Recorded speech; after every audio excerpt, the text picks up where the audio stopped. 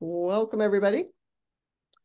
A few people coming in. Don't trip over each other on the way in the door. Nice, polite people walking in. Single file.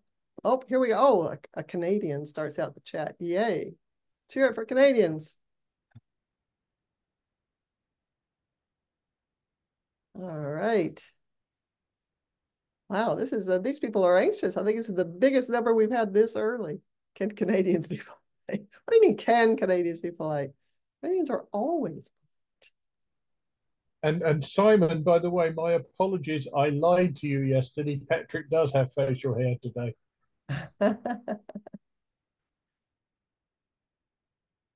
ah, there's the my other home, Georgia, in there. Thank you. Good to see everybody. Hope we're going to have, I'm sure we're going to have the exciting chats that we, we had in the last couple. It's gotten more and more active in the chat uh, amongst everybody. We're starting. So I got a minute or two to go, according to my clock anyway. So let give people a little more chance to come in the door. I will be putting uh, the information about downloading Patrick's handouts uh, in the chat. So you can hold on to those questions for a moment. As soon as I uh, turn it over to Patrick to start talking, I'll be putting that information in. Or maybe John would like to put it in before that, even if there's people who are keen to download it right now.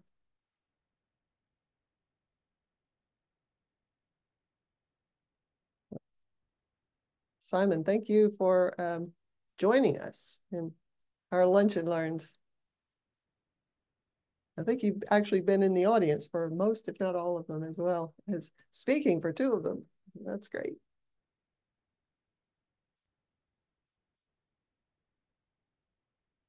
Okay, so we're uh, about 200 people now. Maybe we'll uh, get started. We're expecting probably at least double that uh, to, to join us eventually, but sometimes people are a little slow getting started with the webinars. Switzerland. I don't know. Is that going to be the furthest one? No, no. Well, maybe. Hmm. I, I don't. My geography's not very good. I couldn't tell you how far away all these people are. Rob, are you at home? Are you? You're pretty far away, I bet. Yeah, I'm down in Costa Rica. Ah, wow. Gonna come visit you one of these days. Always wanted to visit Costa Rica. I got the right place for you. All right, good. All right, as long as Anton is here, we're we're good. I love that in the chat. Anton is really very helpful. He answers questions faster than I can in the chat uh, and fixes problems for people, but uh, that's good. Thank you, Anton. I think uh, Hawaii is the winner at the moment, Susan. I'm sorry, I think Hawaii is probably the winner distance-wise at the moment. Oh, you think? Okay. Well, from us. From us, yeah. We're of course we're in Canada, so yeah, a little different from a lot of people. All right, uh, we are about a minute over, so uh, from our start time. So I'm gonna give John a chance to a little quiet moment here to give him a place to um, know when to start the. He, he trims off some of this little chit chat at the beginning for the recording purposes. So, oh, another Costa Rican. There you go, neighbor Rob. You've got there. Uh, all right, here we go. We'll get started in about 30 seconds.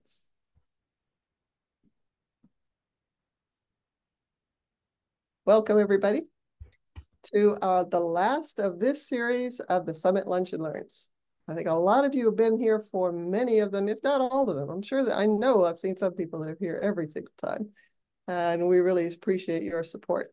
We also appreciate the support of our sponsors, uh, like Rob Swanson and Richard Milone from CNX today. Um, they are here to, to talk to us about their very latest release that I believe has not been seen by anybody else other than uh, other than them, at least the demos. Uh, we were having our very first demo of their new release, so that's exciting stuff. Um, as usual, we have uh, three parts going here, and we use several different analogies during the course of the, the series. So today we've decided that the uh, analogy is a meal. And so Patrick is going to be the appetizer course and the dessert course uh, after, uh, and in the middle, the actual juicy, filling, uh, important bits uh, is going to be all about CNX with Richard and Rob, and I think Sean is, uh, Sean Langtree is also going to be joining in on that. Remember that the chat should be used for what you're using it for now, chatting amongst yourselves, which is fine. Uh, chatting to me about things like where's the handout or, you know, recordings and stuff like that, and sort of administrative kind of things. If you have a question to the speaker about the content of what they're saying, that should always go in the Q&A.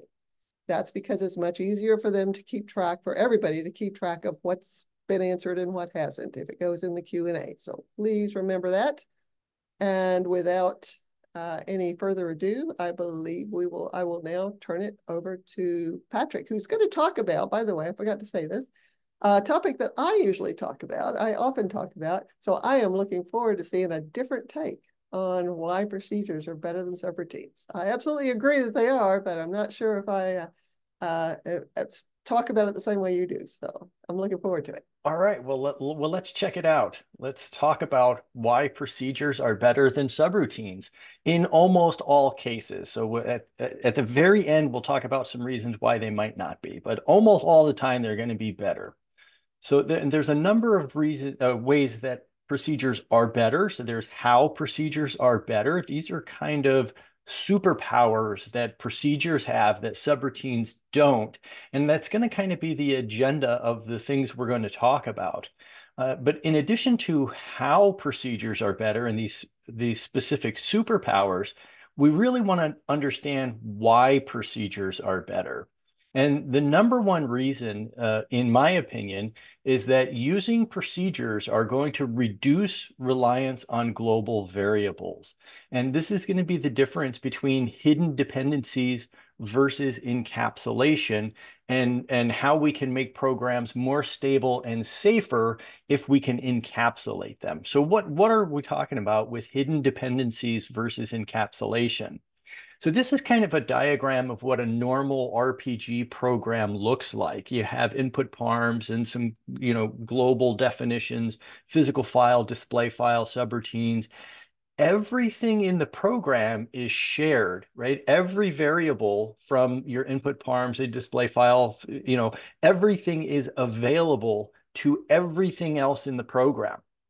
And what can happen is if you make a change in one subroutine, you may end up causing problems in another subroutine that you thought was unrelated because because of this these hidden dependencies and everything being in the global scope. The difference with procedures is, is we can encapsulate them and put everything that the procedure needs all in one place.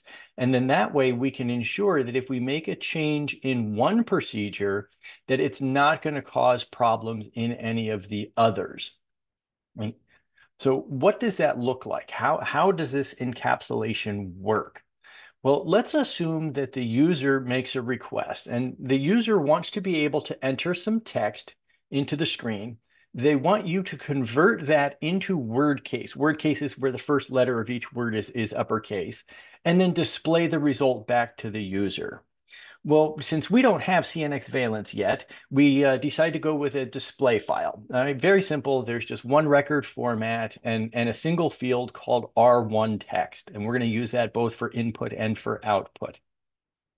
The program has the display file. It's very simple. All we're going to do is just loop until the user presses F3, display the screen, and if the user has pressed enter, we're going to do the word case logic. And this is going to initially be in a subroutine.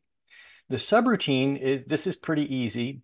The only thing it's going to do, let me get a little bit here, we're just going to loop through and look at every single character. If it the next character, if the character is a blank, we want to uppercase the next letter. And then we're either going to convert from lowercase to uppercase or from uppercase to lowercase. And obviously I wrote this before the, the upper and lower built-in functions. So quick shout out to the, to, to, the RPG folks for continuing to give us really cool BIFs.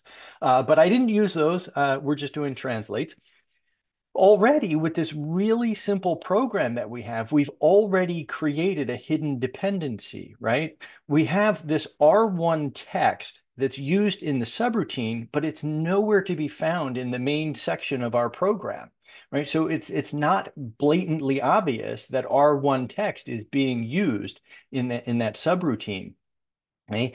The other issues is the way that we've uh, coded this what if we need to convert other fields into word case? What about R2 text or R3 text, right? We can't do that. If we needed to do that, we would have to introduce some, some other work variables and then move R2 text into a work variable, call the subroutine. The subroutine would put back into a different variable and return it back. It just gets a little bit messy if we do that. And this is something that we can deal with with using procedures very easily.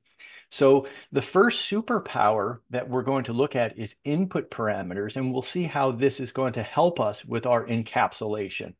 So we want to convert this subroutine into a procedure. So the first thing that we're going to do is convert the begin subroutine to a declare procedure statement, a declare proc, and the end subroutine becomes an end proc.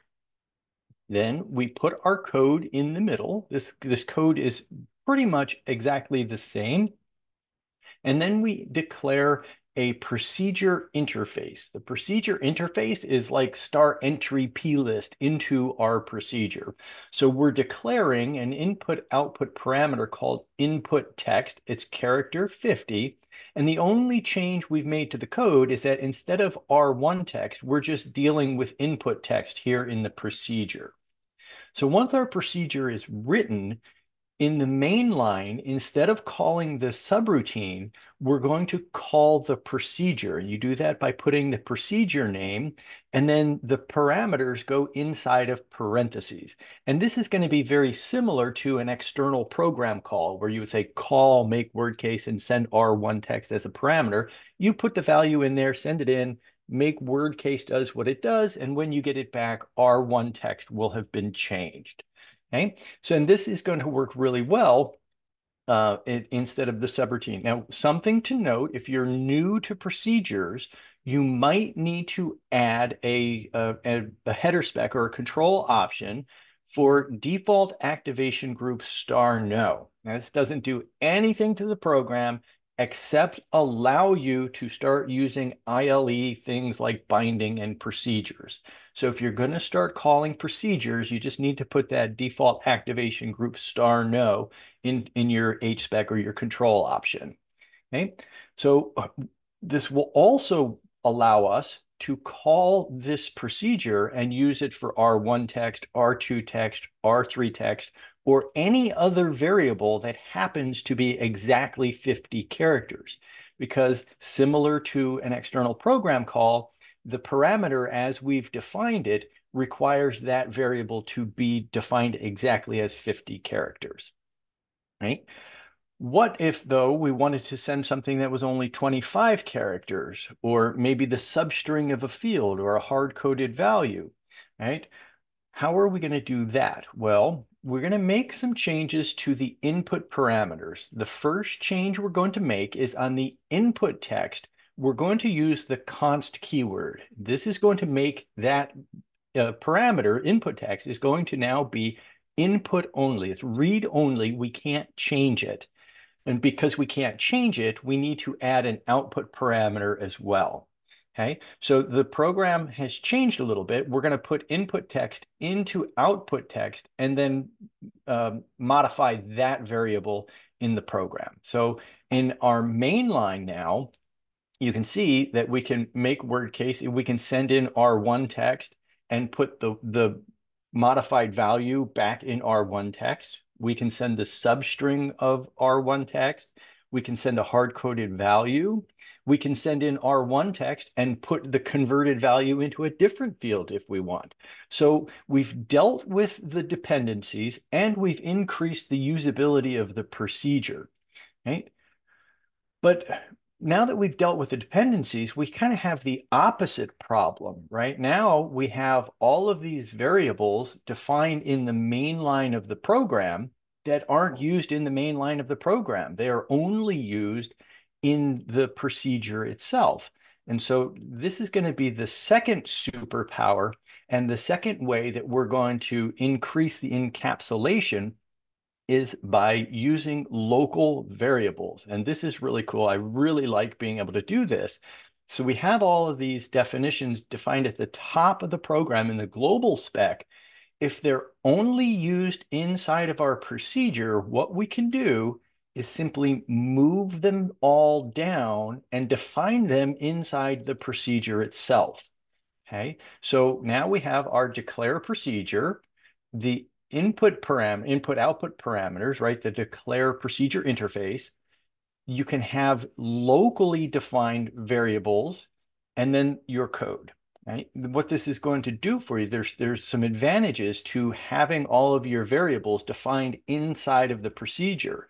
The first is that these variables are going to be very easy to find because they're defined right there in the procedure itself. You don't have to go hunting for where they're defined. The second advantage, and, and what helps us the most with the encapsulation, is that any variables that are defined inside the procedure can only be used inside of that procedure. They're not visible to any other part of the program. Right? The third is that it's going to clean up the main line of the program. So now in the main line of our program, we don't have any hidden dependencies, right? Remember when we first started, R1 text was used in the subroutine, but we didn't see that in, in the main line, okay? So we've gotten rid of the hidden dependencies and we have gotten rid of all of the unused global variables. So it, it really helped clean that up right? So by using input parameters and local variables, we've encapsulated all of that logic inside of the make word case procedure itself. And we can ensure that none of the variables and logic that's inside of that procedure can be affected by any of the other procedures. It is encapsulated inside of there. Now, there are a number of other superpowers and a lot more functionality that we're going to go through in the second half uh, in the dessert portion. Uh, but for now, I think it's time to turn it back over and, and hear from Rob and Richard.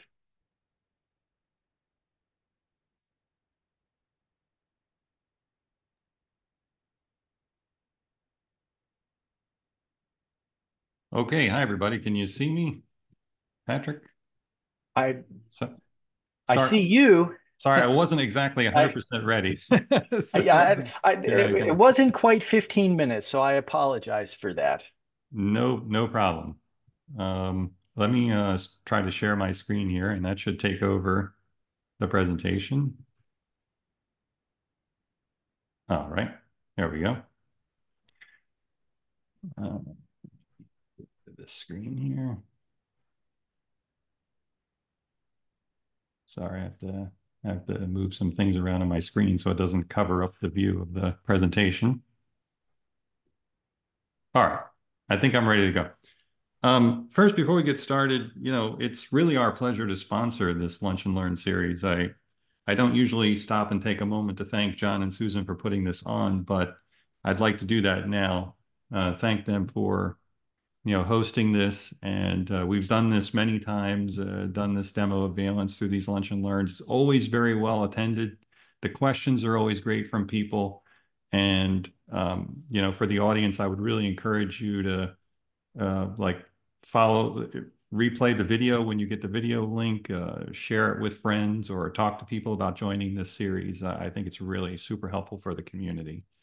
And uh, if you've seen this demo of Valence before, there's a lot of people on here right now. So I assume there are some that have seen this before or already familiar with Valence.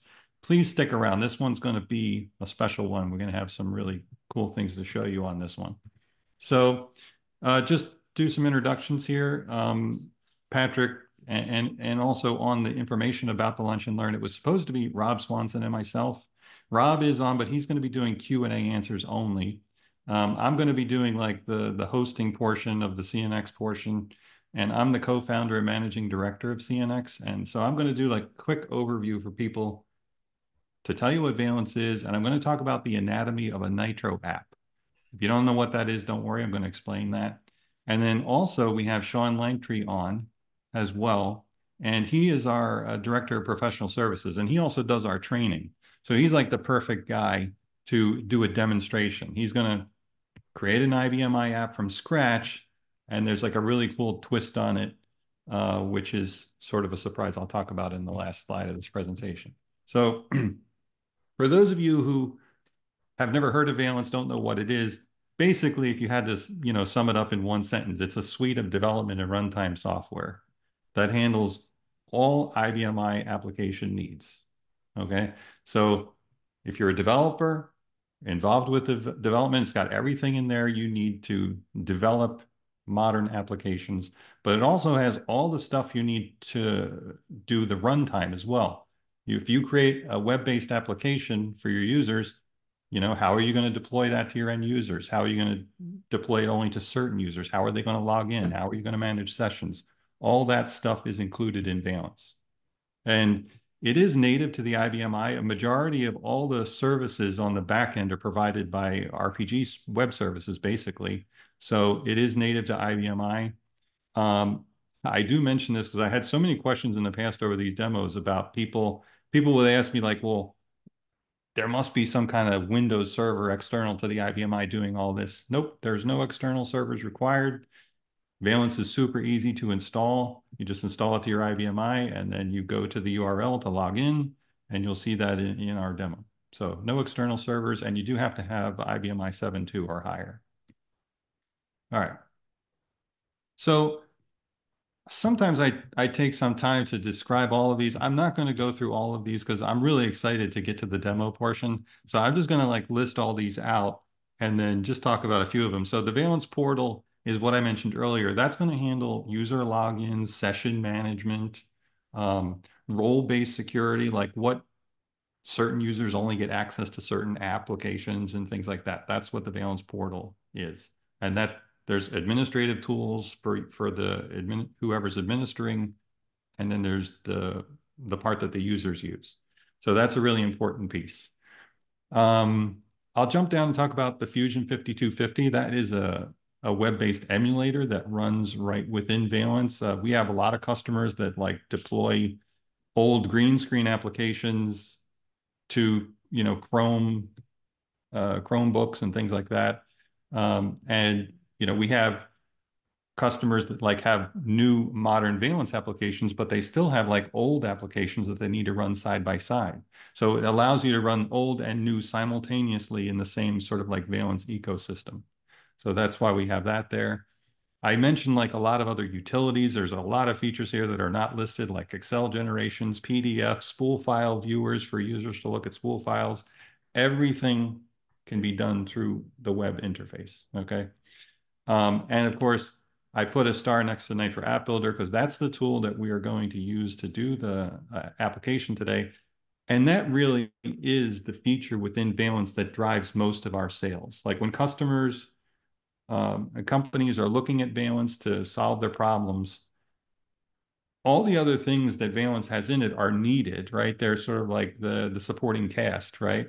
But th what is driving them to look at Valence is really the Nitro App Builder. They need to be able to create applications, good modern applications, quickly and efficiently. And that's what the Nitro App Builder does. So that's why it has a star. All right, so let's talk a little bit more about the Nitro App Builder um, it's really classified as like a low code builder, right? You can, with no coding, create user interface elements like what's listed here, charts, maps, other components, anything visual. We call that a widget in, in, in our terminology with no programming. You just use the web interface to, to do this as a programmer. Then in order to get what we call a Nitro app, you can take any of these visual elements and put them on a canvas and they become an application.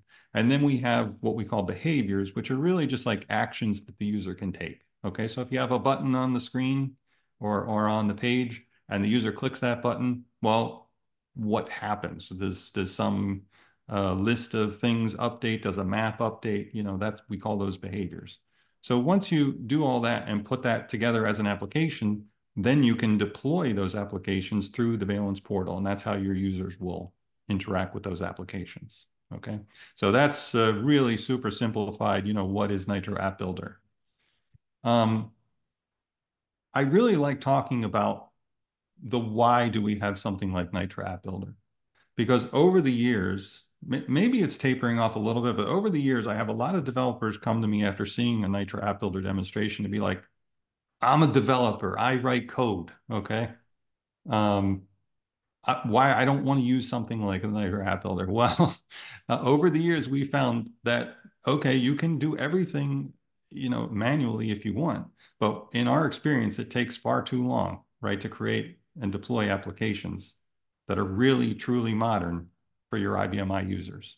And, you know, in our experience, you know, businesses, the companies you're working for, the expectations have changed so much over the years. They really expect things to be done quickly. What used to take years or months, now it's expect the expectation is that can be done in hours. And if you can't do it, somebody else will be able to do it faster and more efficiently, right? So we need to, as developers, really use more tools. The stuff that Patrick was talking about in the code is also very important. You need to understand the low level things of what's going on in many cases, right? But in order to be more productive, you need to use tools like Nitro App Builder. So another reason is like truly modern user interfaces. If we're being honest with ourselves, you know, we we we see a lot of products in the IBM i space that call themselves, you know, modernization tools, but then the output of them is really something that looks like it was produced in like 2005 or something, really not super modern looking, right? Really modern user interfaces require a high skill set to be able to do that and do have a long learning curve. And, uh, you know, I don't know what your experience is, but like we have found that development resources or good development resources are scarce. And if you do find good development resources, they're usually expensive. So Nitro App Builder and tools like Nitro App Builder are helping companies do more with less, right? That's what we're all trying to achieve here. So now I'm going to move into a little bit of technical explanation just to sort of set up Sean's demo a little bit more technically. So when we're creating a Nitro app, the first thing you're going to see Sean do is to create a data source. And I'm not talking about like creating a data table or anything like that. I'm talking about more of like creating, how do you get to the data, like the SQL statement, okay? Um, or you can use a wizard in, in Valence to create what we call a data source. That's really just the definition of where is my data, okay? And then once you have that set up in, in Valence Nitro App Builder, then you can attach those visual elements we call widgets, right? So in this case here, we have a grid widget, which is really sort of like a subfile, just a list of things. Or you can attach a chart to it. And this is showing that, hey, you can have more than one graphical element attached to the same data source, okay? And then once you have some widgets defined, you can have one or more of those go into then creating a Nitro app. It's also important to know you can have an unlimited number of data sources and, you know, they can all uh, go into uh, num any number of data sources and widgets attached to different data sources, and they can all go into the same Nitro app. And individual graphical elements can participate in more than one Nitro app. Like, for example, you can have like a, say you have a map widget where uh, that's tracking like the locations of trucks around the city. Um, you know, and you may have that participating in multiple different applications where users may need to see where that where that is, and you only, so you only have to maintain that widget one time. All right, now I'm going to sort of rearrange the list of things a little bit here to put the app level in the upper left so I can talk about the behaviors. So a behavior, just like I talked about earlier, is sort of like an action that the user can take, right? So in this example, like let's say the user clicks on a bar that may be on a chart widget. Well, once the user clicks that, it could update a list, you know? Um, another behavior could be like if they clicked on a row on a grid, maybe that updates a map. Like say maybe the grid had like an address in there and now we're showing that address on the map. And then finally, another example could be, suppose there's a button on the grid widget and then I can call some special operation in RPG, something outside the base graphical capabilities of Nitro App Builder. You can just write that in manual code, and then it can call that process. Or it could be something you have existing already. All right. So that's sort of like the technical setup. And now I'm going to announce, for those of you who have stuck around because I gave a little uh, teaser on this at the beginning about a special announcement. We have something new coming out um, this month in Valence 6.3. We're calling the Valence Assistant. And this is an AI service provided by CNX. Super excited about this. It'll become available in Valence 6.3. Should be released within the next few weeks. I'm not giving a complete, a specific date on it because anytime I put out a date, it, we always slip or something. It's never the exact date. We're just saying within the next few weeks. We're we're crossing the T's and dotting the I's, as they say. Um, and right here on this demo, on this uh, lunch and learn session, we're going to be demoing it for the first time. Now we've we've shown some close customers that we work with and trialed this, uh, you know, privately, but this will be the first time we're really doing it sort of publicly. And also, what you'll see in this demo is really just just the beginning. Okay, um, it's super useful today, and then over time we'll probably be adding a lot more things as as we see how customers use it and and where we can help. So for years, Valence and especially the Nitro App Builder has been an excellent tool for assisting the user and uh, the developer in being more productive. And now this Valence Valence Assistant just takes it to a whole new level. Okay, and I think you'll see that like uh, creating SQL statements becomes like really super easy, especially if you're not really if you're if your person is not super comfortable in SQL or it takes you a long time to create an SQL statement, this could be really helpful. If you're not great at like laying out form fields and things like that, the the Valence Assistant can be super helpful. So I know AI is like all the rage, right? Everybody's trying to do AI this and AI that, and we're trying to be really super practical with it and then implement it in ways that we really feel will help the developer be more productive.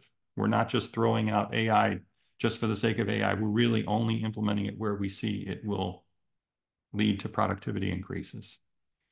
Okay, so now it's time for the demo. And so I'm just going to remind everybody in the Q&A, as Sean is doing the demo, I will monitor the Q&A and I'll sort of answer questions as Sean. I may even stop Sean and ask him to clarify something or whatever. So you can post things in the QA to me.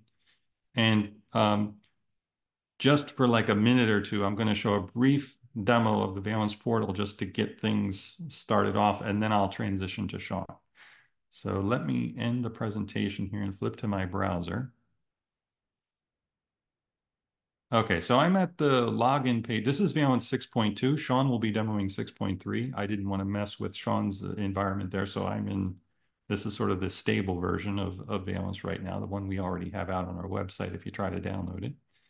Um, and this is the Valence portal. And you can see we have multiple languages uh, here. You know, if you wanted to switch it to Spanish, everything would switch to Spanish. And uh, when you logged in, everything would be in Spanish. Um, that's just one of the features that's built in. So I'm just going to go ahead and log in here. And so I am an administrator. So I see everything. So each one of these little, we call these tiles. So each one of these little squares is a tile and that represents launching an app just like you would on your smartphone, right? An icon represents launching an app. And since I'm an administrator, I have like portal administration here, and here's all my settings for Valence. I can administer users. I can administer different applications, uh, all these different things. There's many different ways to administer the portal. Um, this is what we call Valence Instance Manager. So uh, we use this system for training. So the, the all the these squares here represent different instances, which are logical separate instances of valence running on the same logical partition. And you can manage those differently. Active sessions of users. I'm not going to click into every single one of these. Um, if the system encounters any errors, uh, you know, they'll be recorded in here. Uh, you get statistics on user applications uh, how you know how users are using the applications and statistics around that. There's really an awesome full-blown file editor, which you know by itself is really an amazing feature. But this is just sort of oh, these utilities are just sort of like thrown in with Valence um, to increase productivity. And to, uh, as like I said earlier, our goal is to sort of keep you in the Valence environment, not have to bounce around to a lot of different things. So we try to include as many tools as we can. So for example, you can just go into um, a table you know, you can do all this with SQL, but this is just sort of like a productivity tool, right? You can go into records and maintain records and things like that. Obviously, you probably don't want to deploy that to your end users. That's an administrative tool. There's the Nitro App Builder, which Sean will demonstrate. Um, spool file viewer is like a really cool thing to be able to, you can deploy this to your users. And since this is a test system, I don't have a lot of outqueues on here. But as you can see, I can just go in and look at this job log um, and see it right on the screen. I can download it to a PDF. I can then email it to somebody. You know, that that's sort of another built-in feature. Users love this to be able to just get their spool files, you know, on their own and pass them around in email and things like that. There's the Fusion 5250, which uh, is surprisingly popular, especially for companies that want to deploy a lot of old applications to uh, like Chromebooks and things like that. Um, because it, it really scales well. Like you have thousands of users on this because it does not use Java. It uh, is sort of like a native emulator that running in the browser. Uh, we could spend a whole session just on a lot of these different features, so I'm just sort of going through them quickly. Um, we also have some example Nitro apps in here. Um, like for example, you know, this is like an order entry app where you can say, okay, for this list of customers, I can say, okay, I'm adding a new order for this customer. And this is where the customer is located. I picked a customer that had no location, of course, on the map. Uh, there's 81 orders that are late, and that's the list of orders. So that's sort of like an order management app. Um, there's like a sales dashboard example. All of the colors you see here and the layout, all this is totally modifiable. And if you're not that great of a user interface designer, like if you're an old school RPG programmer or whatever, we try to make things as clear as possible for that audience. Okay, so like as an old, if you're an old school RPG developer, you've been using IBM i for a long time, or if you've tried to implement uh, different modernization things in the past, we try to make this all like feel right to you, like it's the right way of doing it. And uh, you know, we we we we have a lot of things in here that make it just make sense for people like that. Um, let's see. I think I've shown everything that I wanted to show briefly. And Sean is going to take it over now and go into the Nitro App Builder and uh, create an app for us. What do you think, Sean? Okay, can you see my screen? Yes. Okay, okay. Well, as Richard mentioned, I will be doing the demo and I'm gonna I'm gonna give as much explanation as I can as I'm doing this stuff, but time constraint, you know, I want to get everything done. So I'm gonna be kind of flying through this stuff. um, I want to show you first, I created some uh, wireframes of, of what we're going to create first. So this is an application called products. We have a list of products and we have a, a bar chart showing top sales. If I click a product, will pop up a window that shows more information about that product. Um, as Richard mentioned earlier, you know, we have data sources, widgets, and then an application. The application will be products. I'm going to create a data source called products, and then off of that data source, we'll create a product list.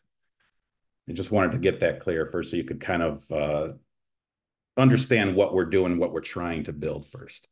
So I'm going to log in. And I'm going to click the Nitro App Builder application. So upon starting Nitro App Builder, you have two sections, data sources and widgets. And we're we're going to work in data source and widgets first. I need to create my first data source. So if I click this plus button, there, there are a couple ways to create data sources. We could do like a wizard type setup. Um, I'm not going to do that. I'm going to click add data source. And here we can type in any SQL statement. I'm going to use, as Richard was mentioning earlier, the, the Valence Assistant to help me here. So the first part of this is it's asking me, do I want to pass some file definitions? So this isn't data, it's just passing the definition of the file. In other words, the, the, the, the column name and the column description. So we have a table called VX products. So I'm gonna send that. It gives me the list of everything, you know, that, that it'll pass. You know, if I say, oh, don't, don't include this field, I can uncheck it.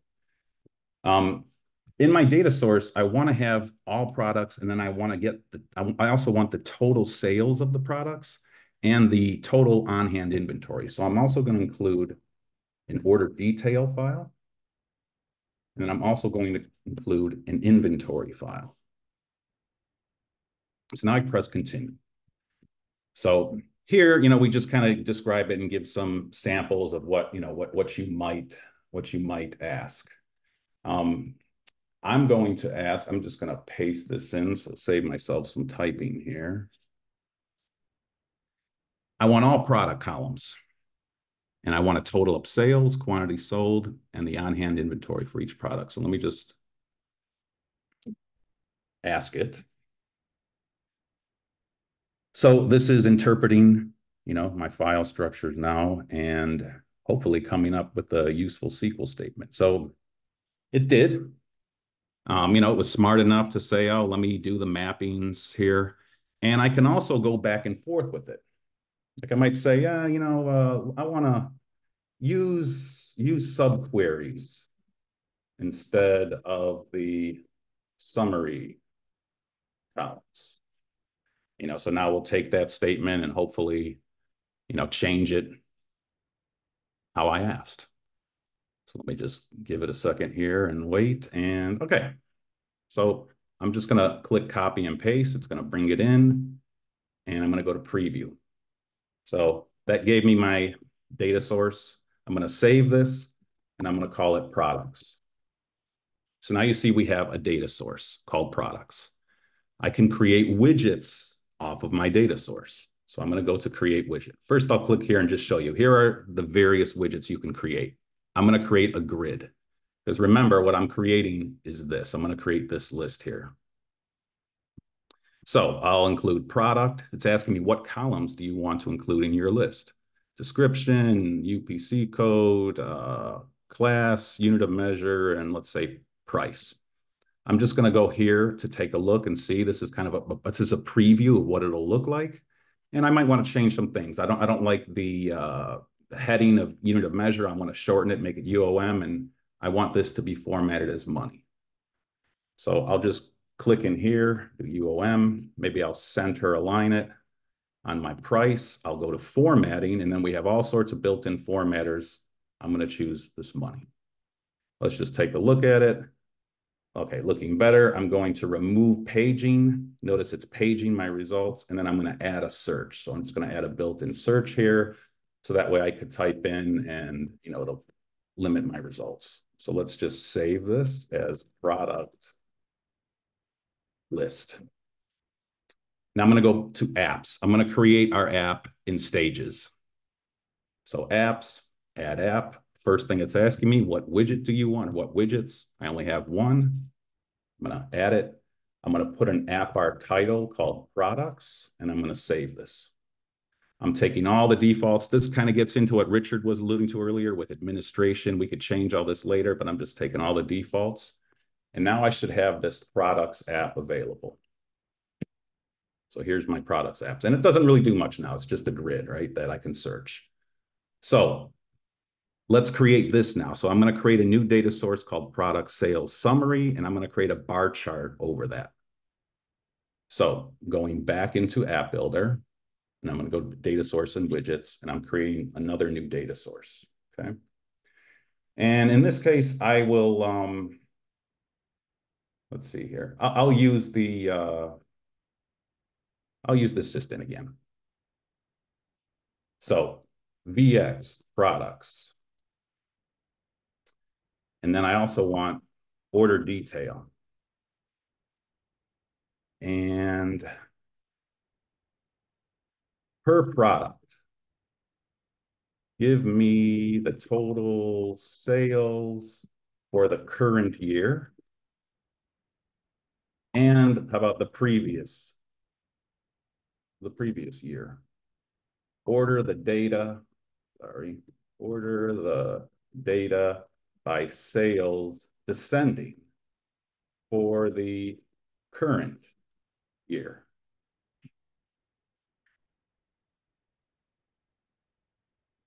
Okay, let's see it. I think that looks good. So let's just preview the data and it looks like I'm getting by product, current year sales and previous year sales. Good. So let me save this and I will call it product sales summary. So now right away, I'm going to create that bar chart against it. So I'm going to go to create widget, charts, a bar chart. Okay. So charts, what are the data fields? Well, I want the uh, current year sales. I want the previous year sales and my label will be product. So now to lay the chart out, I'm going to limit it to the first 10 results. Okay. And I'm going to put a title on this and call it top sales. And these, this data here should be money. So I'll represent it as money. So I'll go to data access and click the formatting, make it money. And I'll put a legend on here as well. So the legend will go up top. This will be called current year, and this will be called previous year. Okay, and let's just save it. And we will call this the product sales bar. Okay, so now I have, you know, another widget. So I'm going to go back to my app and I'm going to just click the app to go in edit mode. And I'm going to add my other widget. So I'm just going to click add product sales. It's going to put it to the bottom, but now I can hover over and I'll get arrows to move it. Yeah, I want to move it up. Okay. And I'm going to go to settings here and I can, you know, adjust the margin. I'm just going to make the, the left margin zero here. And let's see, let's, let's put a theme on the app too. I'm going to go to theming and I'm going to make it uh, this one, save. Let's save the app. So now I want to reload, I want to reload this app. I want to run it again. I can close the app and, and, and run it again. And that should look different. Okay, so now we got our two widgets. So now I need to put in this part. When I click, we show a pop-up window, right? So if I go back, sorry, I'm going to use the same data source, but I'm going to create a new widget called product form. So back to app builder, back to data source and widgets, products, create widget, form. Okay, so typically the form, you select the fields you want. I'll just do that quickly to show you. I might say, yeah, you know, I want these to be editable. Um, you know, and it kind of just lays it out. I can group the fields if I wanted to. But I'm not going to do any of that. I'm just going to use the Valence Assistant to just try and do its best. Okay, so um, I'm just going to uncheck this and just let it do its thing. So let's, uh, I just want to give it like a, a brief explanation of what I wanted to do. So use all available columns. Um, this form is showing attributes of a product. Uh, group, group it as you see fit. And then, I don't know, maybe feel free to change field labels. You know, like maybe it doesn't like standard cost, it's going to change it. All right. Let's just see what we get. So it's it it knows about all of our data here, and it's going to try and group it appropriately. Um, let's see. So when it comes back, there we go. So, you know, it kind of gave me this, this object showing me what it wants to do. And all the way at the bottom here, I could just hit apply. I'm gonna hit apply and it did something and let's see what happens. Okay, so it so it changed it for me. Okay. You know, I might I can I can then further refine it. Like I might change the number of columns here to just say one to just go top down. I could have chatted back and forth with the assistant to tell it to do it, but I didn't. Um, I'm just gonna refine this a little bit, like maybe on our pricing fields, you know, I'll, I'll format it as money, like standard cost should be money. Um, default price should be money and sales should be money. And let's just see what it looks like. Okay, let's save it. Product form. Okay, I'm going back to the app. I'm going to incorporate it. I'm going to add a widget. I'm going to hover over. I'm going to add it as a pop-up. So now when I click this row, I want that pop-up to show. Richard mentioned behaviors earlier. I'm going to go into behaviors. No time to explain this, but here's my product list. On a row click, it does nothing, no action. Well, I want it to filter a widget. What widget do you want it to filter? The form. Okay, tell me the relationship of how do I filter this data down? Well, I know my database. It's product to product. Save, save, save.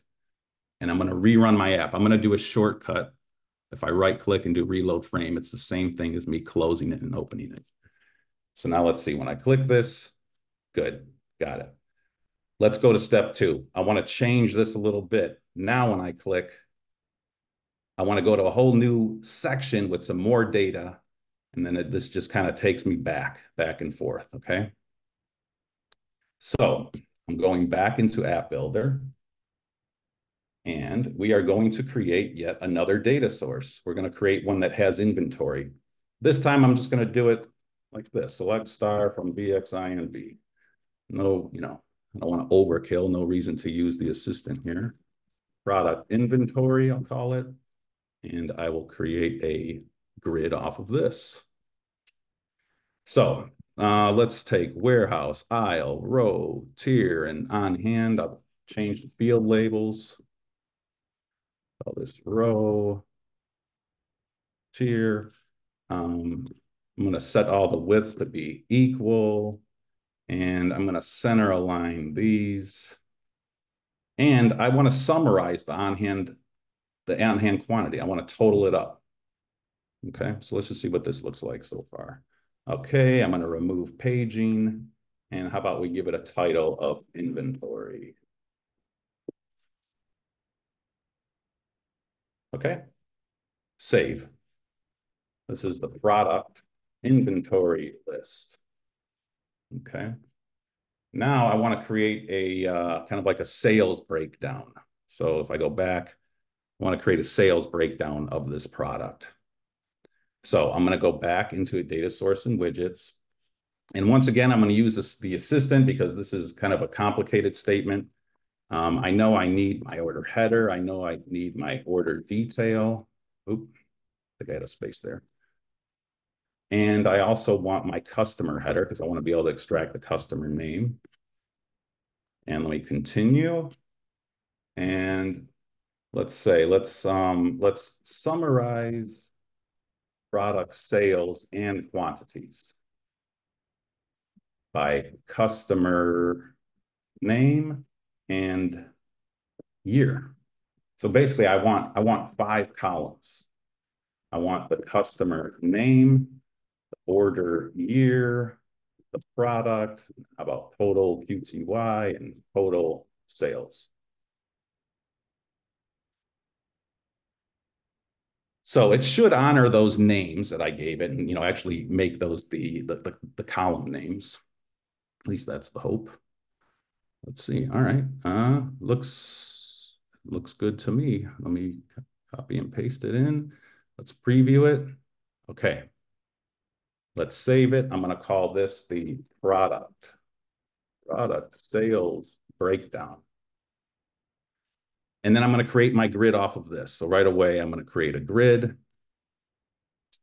And let's see, let's uh, let's include the customer, the year, the quantity, and the sales. I don't need to include the product because I'm going to go into the product. So we'll call this customer, we'll call this year. Uh, let me center align it. Uh, I'm going to put some hard-coded widths on these, 150 pixels each, we'll say. And this will be quantity, and this will be sales. I want to total up the quantity. I want to total up total up the, the summary. And just put some formatters. I'll, I'll, put a formatter on the quantity as well. I want it com I want commas in my numbers, let's say. And let's go to configure and we'll give it a, uh, a title of sales breakdown, let's say. Sales breakdown. And I will remove paging. And I think that's good. I think that's what we want. Let's uh, save it. Product sales breakdown list. Now I'm going to add these into my app. So first thing I want to do is I'm, going to add an entirely new section. An app can have more than one section. I just created a details section, and then we also had our main section. Every app has a main section.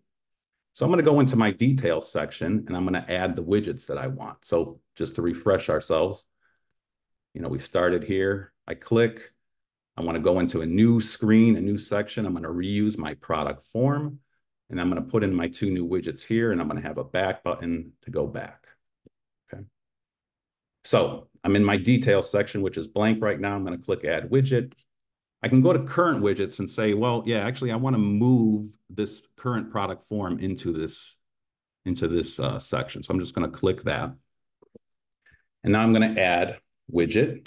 I'm going to add a utility widget here just to show you different things. We can have a vertical layout. I'm just going to give it a name of right because it's going to be on the right-hand side of the screen. Now I can move that. So now I'm going to add, this is, think of this as a parent. I'm going to add my two widgets into this parent here.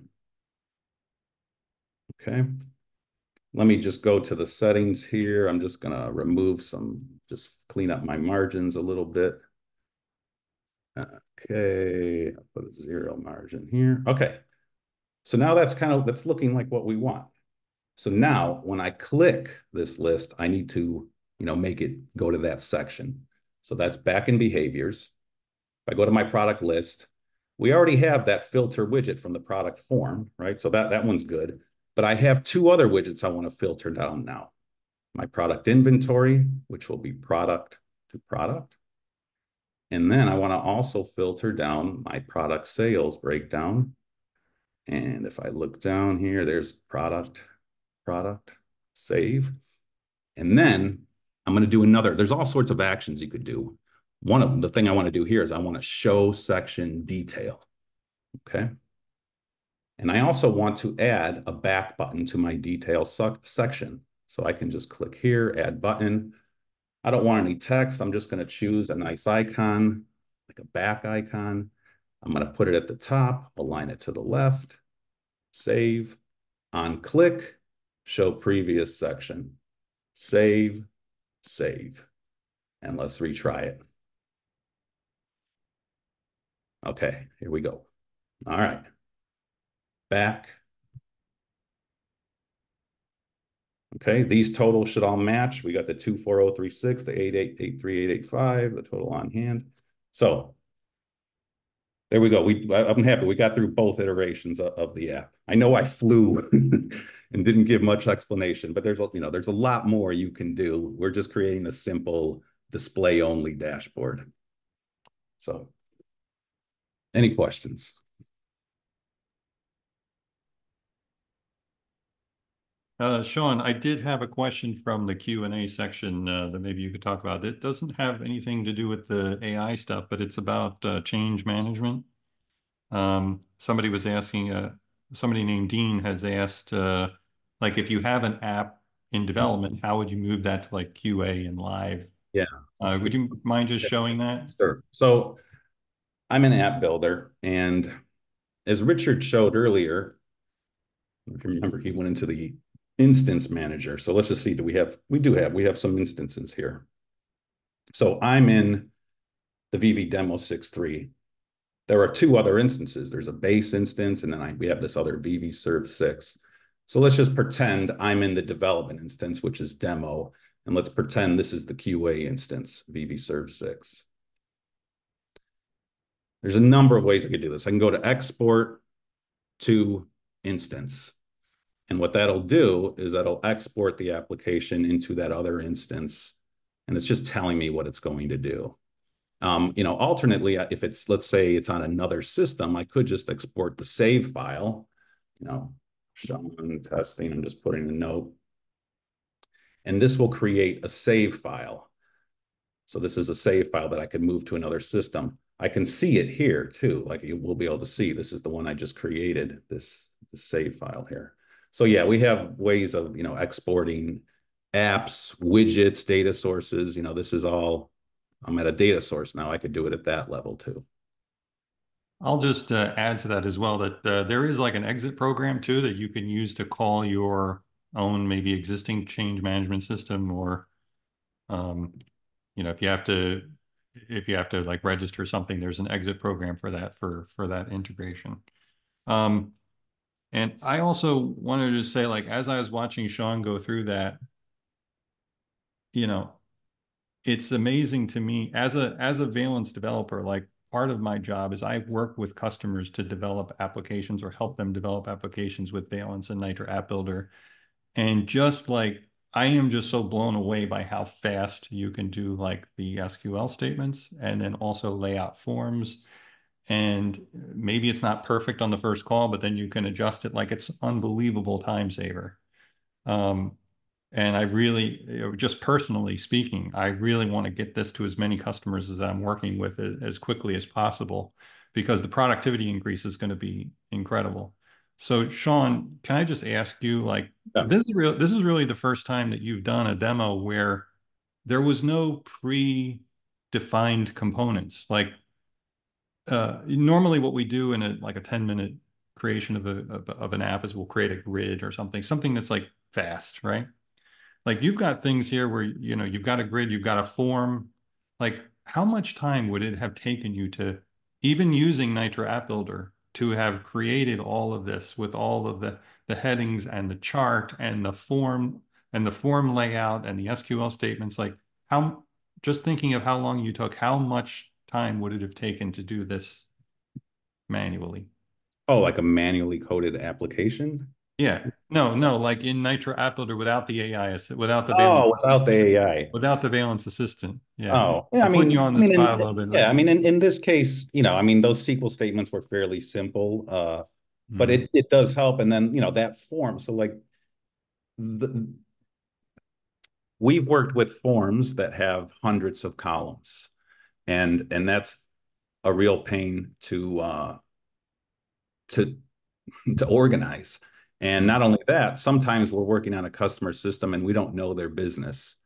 And I don't know in the insurance term of, you know, XYZ, but that does. So mm-hmm. it, it, it, does a good job of, of grouping things. So in, in, in terms of like a form, like it, it could save me hours. Mm-hmm. That let's say, you know, and then do it in 20 seconds. So but yeah, I mean, like you said, it's all new, so I don't I don't have a great grasp on everything right now. I know it saves time. uh, yeah, like I just as I was watching you do this, like you're just sort of nonchalantly going through, and you've created this SQL statement that's summarizing columns, and then right getting this form layout, and I'm just like, wow, that's like incredible, you know. And I, I'm usually downplaying everything. I'm like, just show the features, and customers will decide on their own. But like, I personally am really excited about using this at customer sites. So I Maybe I can sell you a license, Richard. You'll sell me a license, a personal yeah. license. um, I would say, uh, I think Sean, if you're finished, we can let Patrick uh, go. Um, but real, I don't. Real quick, uh, guys, uh, there's been a couple questions about examples, and I don't think you had a chance to show that on the portal. Maybe Sean, you could just kind of show that there's a bunch of pre-built example apps out there. Yeah, and we haven't even talked about calling RPG programs and stuff, which is a big part of, of it, obviously, as an IBM i developer. Yeah. All right. Um, Sean, would you just for um, just so people know, and we're seeing your screen at the moment, could you just go to cnxcorp.com so I can point out a few things? So if anybody wants to try Valence, you can just go to cnxcorp.com, click downloads, Right now, you can trial Valence 6.2, which is the, the top one on the list. So you, if you just download it and follow the Valence installer, it's very easy to install and get started. And that'll help you, you know, you can play around with all the features in Nitro App Builder. It will not have the Valence Assistant in it. That is coming with Valence 6.3. But if you download the software and we should have your email address from attending this uh, lunch and learn, you're going to get a follow-up from us um, I would say the most would be a few weeks, but probably sooner saying that Valence 6.3 is available. Then you can come and download that as well, and it'll just upgrade your 6.2 to 6.3, and then you can use the Valence Assistant uh, features.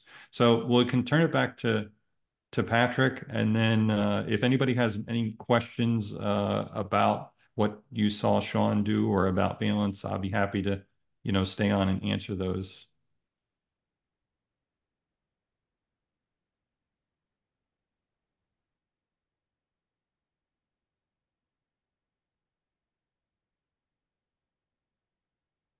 All right, just trying to find all of my buttons and make sure I'm not muted and all of that sort of stuff. Thank you guys. That was really uh, awesome uh, presentation. Looking forward to trying out that the AI stuff. That looks cool.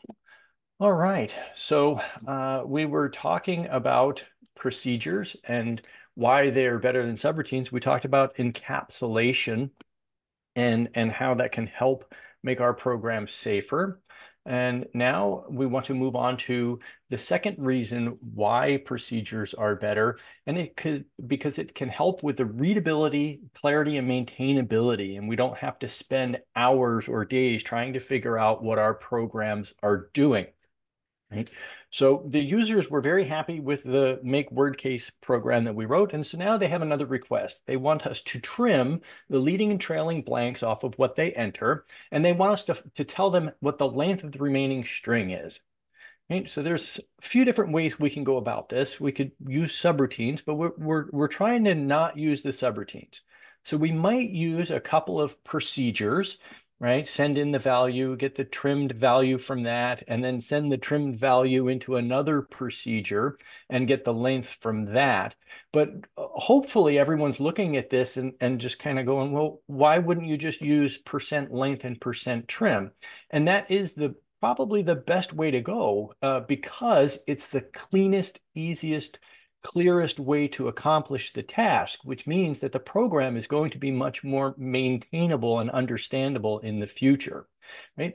The way that this works, though, uh, for clarity is, is because of return values. Those built-in functions are returning values and, and used as input parameters into the next built-in function. So this is the third superpower of the procedures is being able to return values. So what's really happening when we are using percent length of percent trim is first the percent trim is going to be called, right? And we have space, space, space, one, two, three, four, five, space, space, space. So percent trim is going to be called, and that will return back the value without the leading and, and trailing blanks. And then what's left is going to be sent as an input parameter into percent length, which returns a value, which is then going to be assigned to the length variable. Right. So it's kind of understandable, but just it's important that we break this into parts because what we're going to do is create our own procedures to do this same exact thing. So we're going to create procedures called get length and get trim.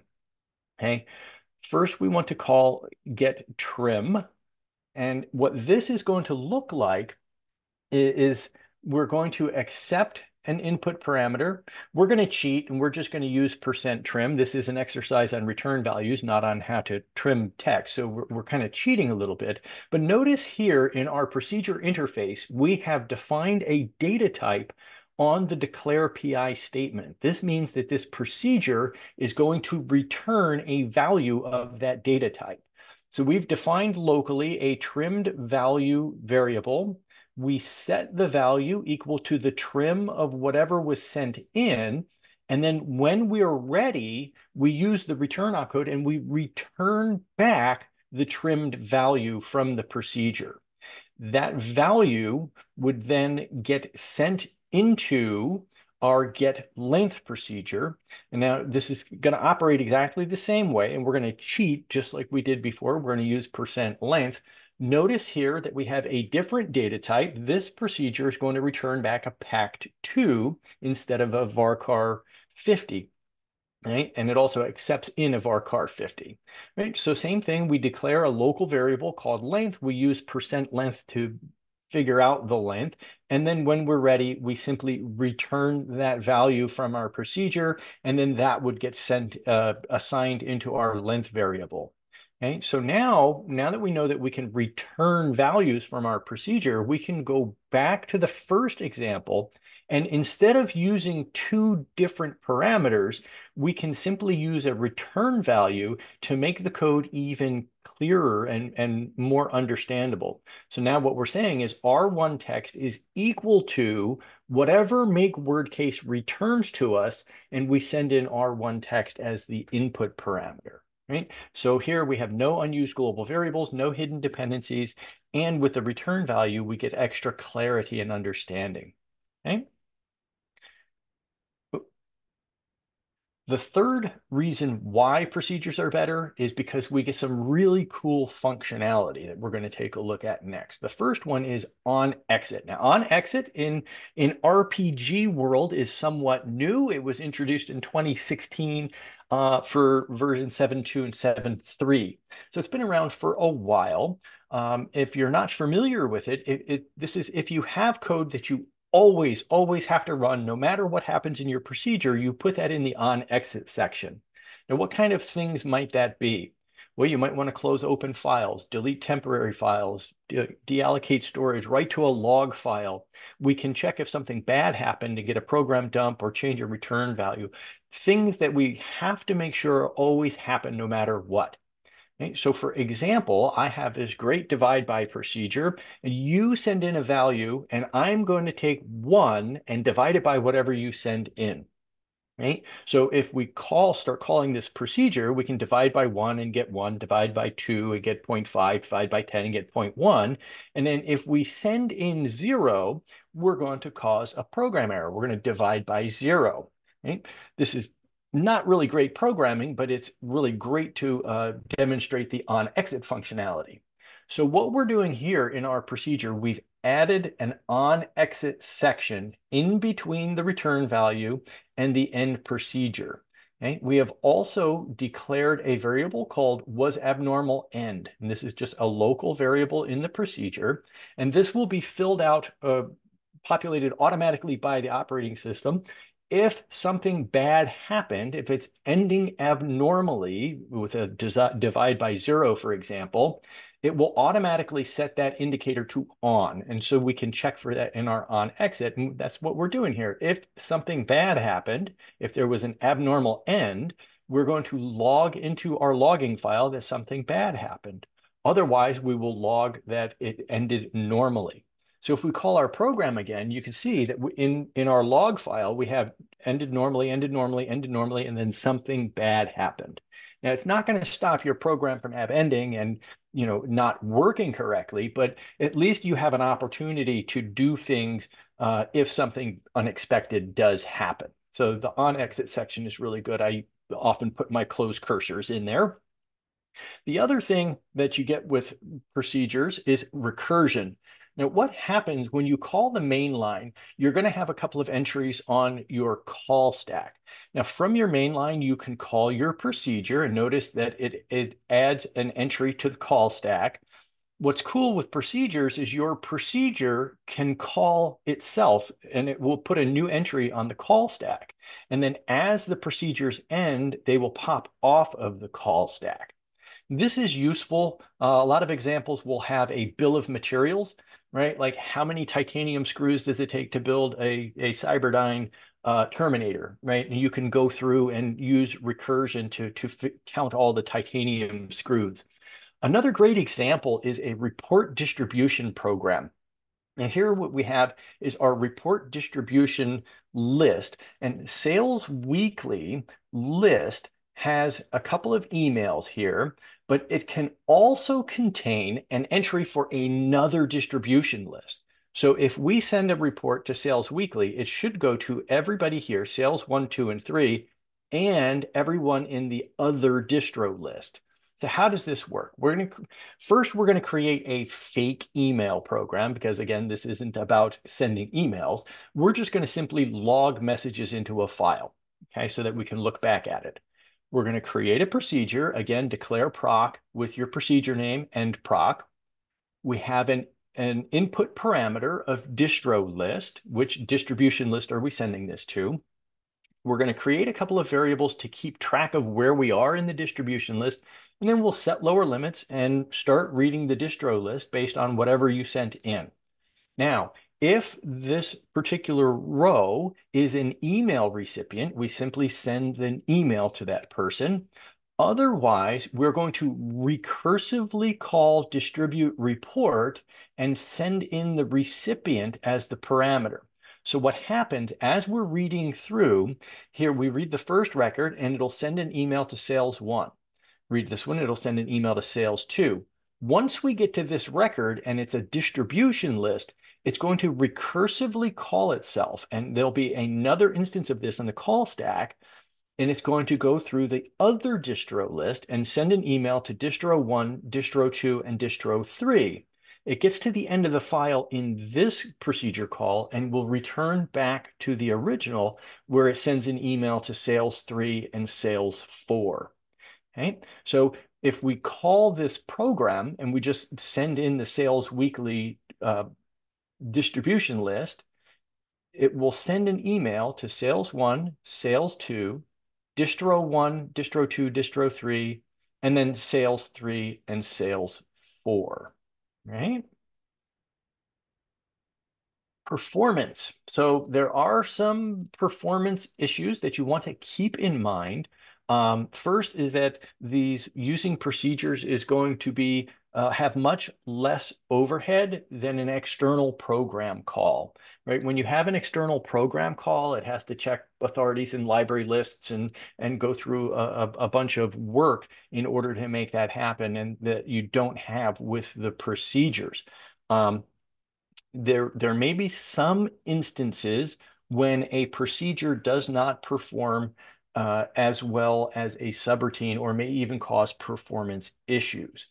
The first is if you have many, many, many, many, many calls to the procedure, right, that can add a lot of, of entries to the call stack, and there is overhead with that. So like if you have a million calls, it can, can make seconds of, of difference in there. Okay. If you have many, many very large local variables, that can also cause a problem because every time you call the procedure, it has to uh, create storage and initialize all of the, the, the memory for all of those local variables that you have.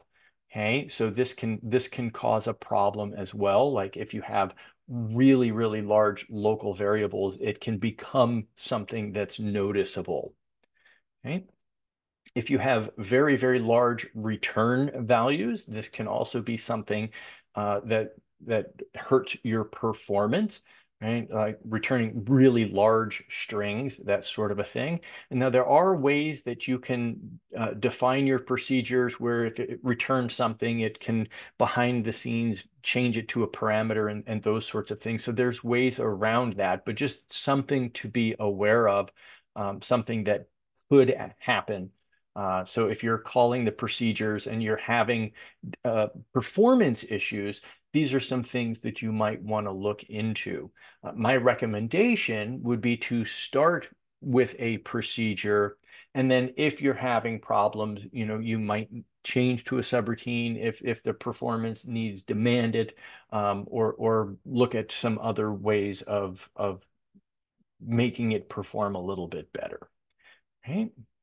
And so these are the how the superpowers that procedures have that subroutines don't, right? We talked about the input parameters and instead of relying on global variables, we can have input uh, parameters and re, uh, local variables so that those variables that are defined inside of the procedure, you can be 100% sure that nothing else in your program is going to be touching those variables. They're only visible inside the procedure. In fact, if you define a variable inside a procedure and you try to use it in mainline or a different procedure, it's going to not, it won't be able to compile because it will say that it is undefined. The local variables are only visible inside of the procedures. Our procedures can return values, and this can help make our code easier to understand and, and cleaner. And clean, easy to understand code is going to be much more maintainable and save you lots of time and money in the long run. We also have functionality in sub uh, in procedure sub procedures on exit will always be called even if something abnormally uh, ends your procedure, it will still go into the on exit code and run that in there so you can close cursors and close files, reclaim store, any, any of those things that you need to be sure always happen when you're leaving a procedure. We, we also looked at recursion and uh, uh, being able to read through a bill of materials and determine, you know, how many titanium screws it takes to build a, a terminator or to have a report distribution.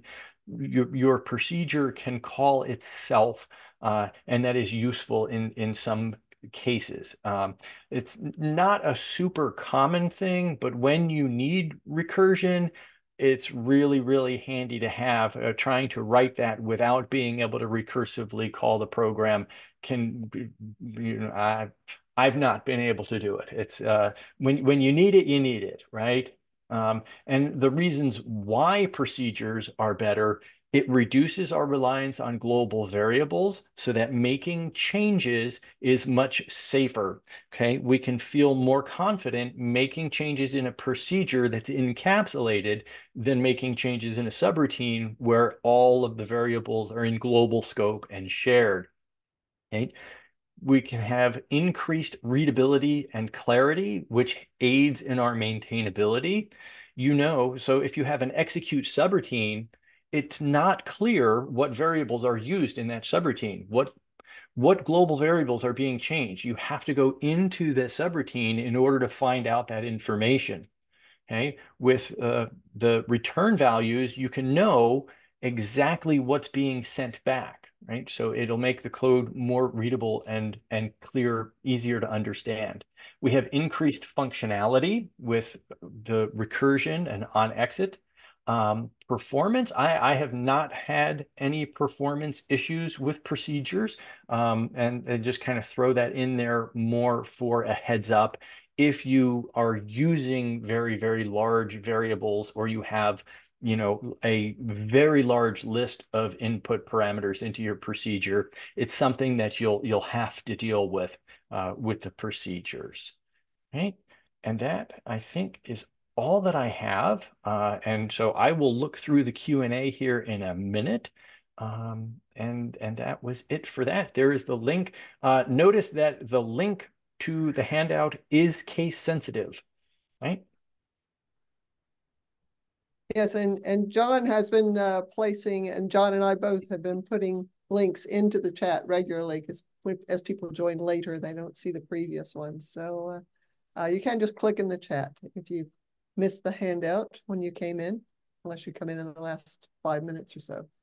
Um, wow, that was great. Uh, but everybody, I, I am I'm a fully satisfied patron of this restaurant now. I, uh, the procedure stuff is uh, right on. It's giving me some great ideas on ways to convince people myself uh, on that. And CNX always blows me away, but the AI stuff, oh man, this is drooling over that one. Um, I'm sitting here drooling.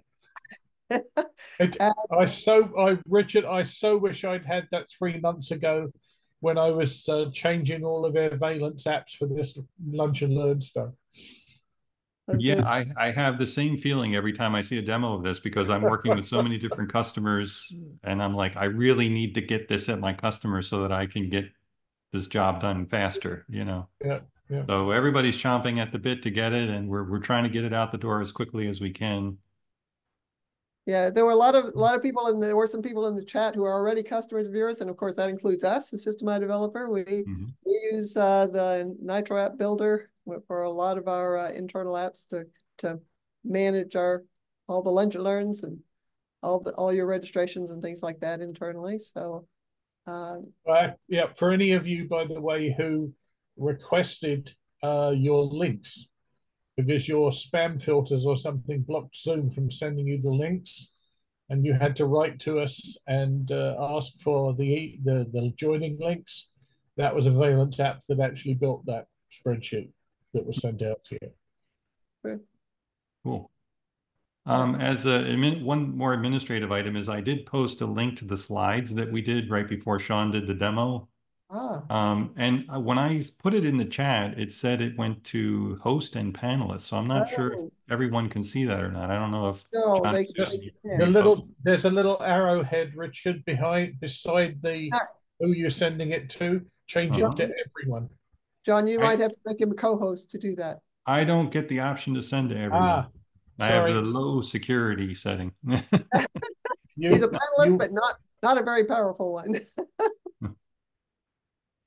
No, So John or Susan, Try, maybe you guys. try can- now. Oh, I Try see. now. Okay, okay. Now you should be able to to post it. Yes, okay. There we go. All right, so I just posted it in the chat. So Oh, if great. anybody wants to quickly click on that to download it, or I think they'll get a follow-up with the chat. I don't, I don't know. Okay. Yeah. I'm I'm I'm I'm going to take issue with Patrick over one teeny tiny thing. Which is uh, he was waiting for this, I know. Um I I agree with you that using sub procedures for performance is is not why you should do it.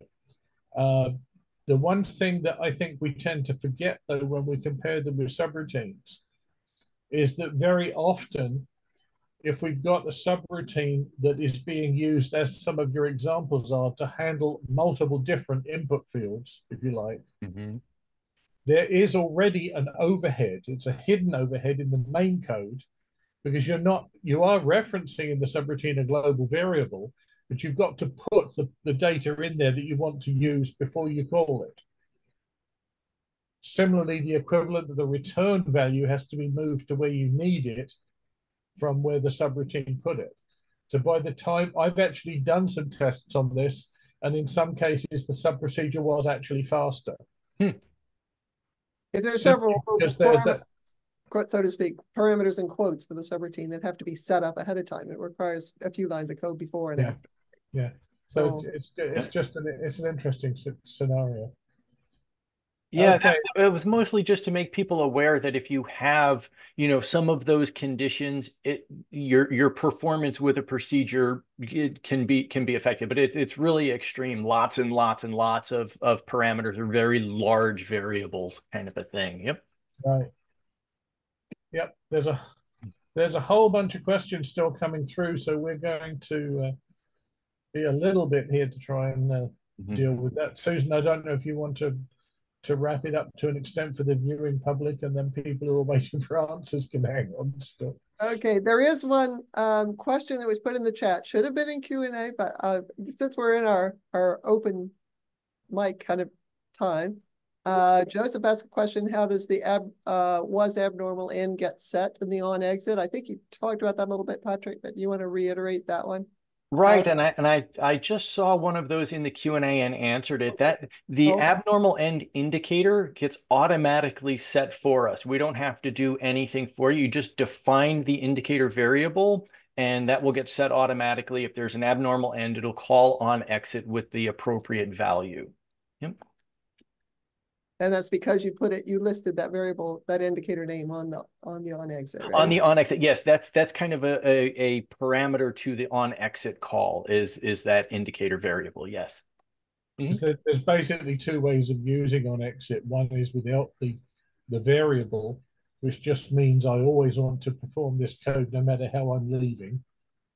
That would that would be the I've got multiple return codes and should be fl- flagellated uh, option.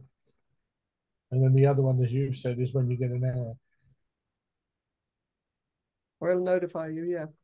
Yeah, there's there's a couple of questions there, Patrick. I don't know about comparing um, the uh, on exit with monitor monitoring. You got any comments on that? Uh, I, I yeah, so monitor would be used for when you have when you're expecting that something might happen, right? Um, so you you wouldn't want to wrap your entire procedure in a monitor statement and never get any errors. Sometimes a program ending abnormally is is exactly what you want, right? If the if the product number is never supposed to be, you know, a a blank in a numeric field, you don't you don't want to monitor for those sorts of things, right? So the you don't monitor every single thing. You monitor things like a, a date or a number sort of a thing, right? A test numeric. There's no more test numeric. You have to use monitor for that. The on exit gives us that uh, input parameter, the, the was abnormal, to deal with things that we didn't anticipate. So monitor is used for anticipated errors. The was abnormal end is for unanticipated, oh my goodness, something really bad just happened that I wasn't expecting. Yep. And also, also, of course, for the occasions where, like you, in your examples that you talked about, sometimes it's not an error. You know, it's just stuff that needs to happen on exit, right? Yes, yep. Monitor I- I- help with that. And, and, and, and usually I'll have my closed cursors in there and then I can be sure that it, the cursor is always getting closed. Um, Right. nice Yep. place to put those sorts of things. But- Trying to By get the way, those- you, you mentioned the dreaded TESTN. One of, one of the reasons TESTN doesn't exist anymore is it never actually worked properly. A good reason to deprecate it. Yes. And it sure as hell didn't work the way people thought it did. Hmm. Anyway, All right, well, we can, we can hang out and uh, chat here for a little bit and see if any more questions come in.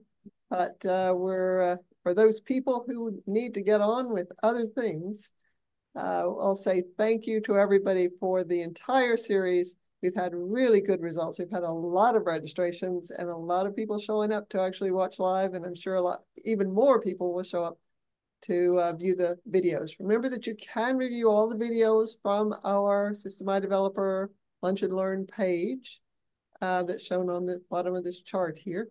Uh, the little uh, button that you use to select it to, to register for this webinar will turn into a view recording. So you can just uh, view as many recordings there. You can just make a day of it, you know, uh, view every Lunch and Learn uh, video you'd like. Thank you to uh, the CNX folks as our, our sponsors yet again. Uh, it's always fun to have to work with you guys and always fascinating to see what you've got to say. And Patrick, I'm I learned a lot about how to how to talk about this stuff. So I'm I'm uh, grateful to you for that. Um, and Thank thanks for your support for uh, for multiple lunch and learn sessions. And of course, most of all, to our attendees, uh, because we wouldn't be talking to ourselves uh, if, if you guys weren't weren't here. So thanks to everybody. some of us are of an age where we talk to ourselves anyway, but Thanks all. All We'll right, hang out take care. for- We'll hang out here and answer questions, but this gives us a chance to uh, uh, to stop the recording at least. Or give John a place to trim the recording afterward, I should say. that's right, yes. I think actually that uh, all of the real questions uh, that need answering live have, have already been done, Susan. There's a, a, a lot of Yeah. what appears in questions are not actually really questions. Right. Yeah, maybe, yeah, I can just go read through. So there, there was a question about using SQL cursors in, in the recursive procedures. Uh, if I was going to use SQL in that example, I would likely just fetch into a, a data structure array and just have a single fetch to go through if I was sure that I could fit everything in there. Um, that would probably be the, the easiest, fastest way. I do like that method. Um, there's a question about how to know what stack to send to. Um, I'm perhaps that is talking about the the program messages again. I'm not a hundred percent sure. Um, there's there's usually a way you can get back to the program, it, the main program entry point itself. Yeah, that's that's covered um, within the uh, the IBM uh, introductory docs. Patrick did quite a good job of that. And if anyone wants to look up send message, the new one, uh, if you look at that on the uh, midrange.com lists, there's been some really good discussions there of how it can be used. Um, there's a question about on exit only trigger from an issue within a procedure, or does it trigger from any issue in, in the program? It is only for that particular procedure, right?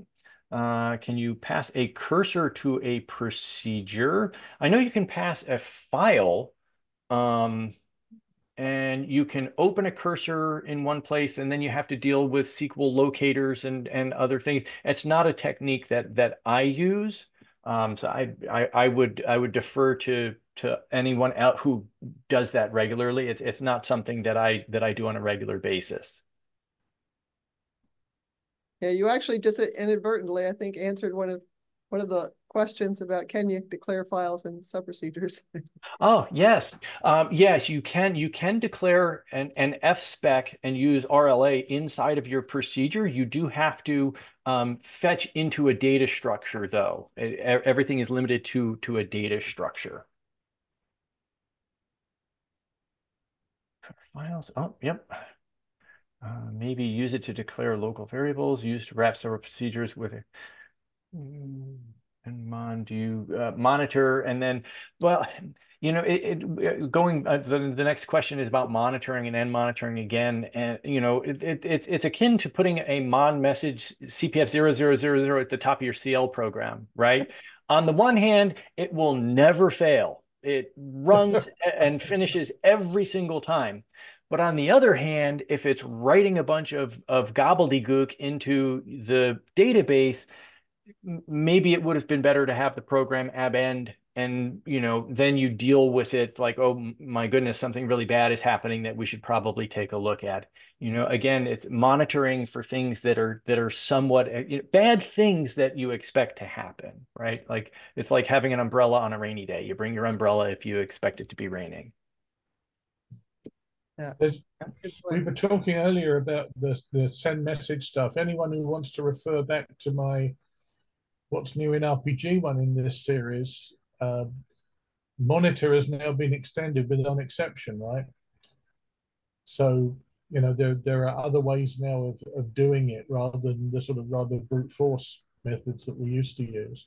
But I, I agree with you 100%. I mean, the, the one thing that I've always hated seeing is people who write monitor and then a single on error with no conditioning whatsoever on it because what's the point you know.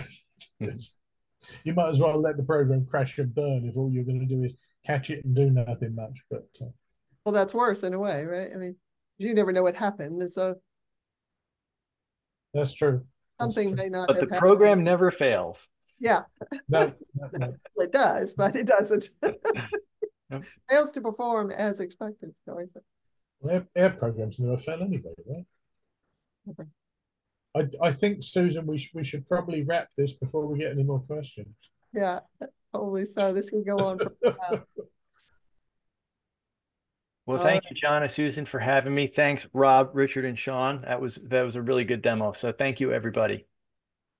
Yeah, thank you guys, John and Susan, uh, especially great series. Glad that we could be a sponsor and be part of it. I'm sure we'll be back again. And uh, Patrick, your stuff was very interesting and well presented. Thank you. Thank you. And have a good one, everybody.